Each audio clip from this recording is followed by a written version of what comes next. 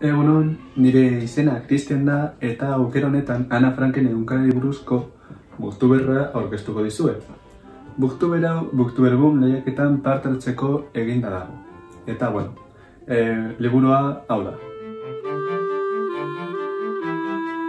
Azteko liburua zertan datza azalduko dut.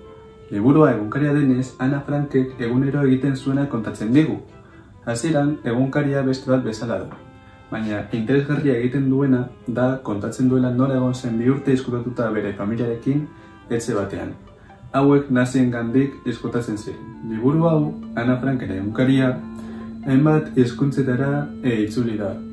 Haien artean Euskara da. Eren argitaletzeak argitaratutako edizioan Josu Zabaleta kortabarriak e itzuli du. Hau da, e, aukeratu dudan edizioa orain e, liburuaren pertsonaiak zeintzuk diren esango dizuet. Gure protagonista Ana da.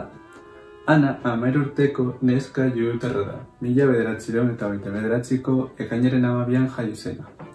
Bere gurasoak Otto eta Edith Frank ziren eta aizpa bat dauk, margote deitzen zena.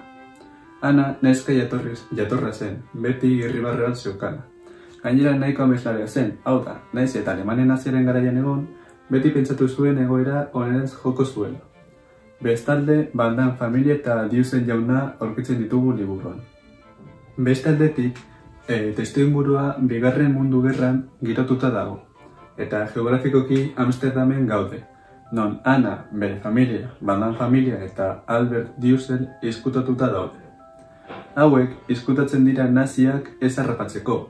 Harrapatzekotan, kontzentrazio esparru batera eramango e, baitzituzten. Azkenik nire iritzia emango dut. Liburua interesgarria da. Gainera, liburaren gaia historikoa izan denez, esan dezaket ez naizela espertu. Liburua nire ustez pertsona multzori gomendatuko nioke bereziki. Irakurtzea gustatzen zaien pertsonei eta historia gustatzen zaienei. Azken hauei asko gustatuko litzaieke. Ondo ikusten delako nola izan zen bigarren mundu gerra juutarazko entzat. Gainera, pertsonalizatean, e, sentimenduak, pentsamenduak eta historia propioak irakurtzen ditugu, eta hori e, plus bat dela pentsatzen dut.